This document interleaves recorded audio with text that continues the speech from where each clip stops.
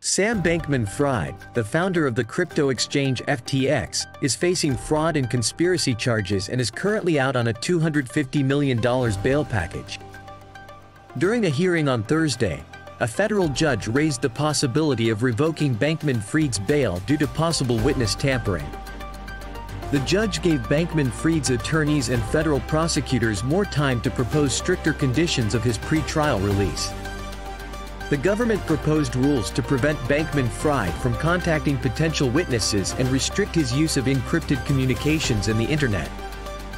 The judge expressed concern that the proposed rules did not go far enough and suggested that Bankman-Fried be limited to using one mobile phone and one computer with monitoring software. Bankman-Fried is also barred from using a VPN to access the internet.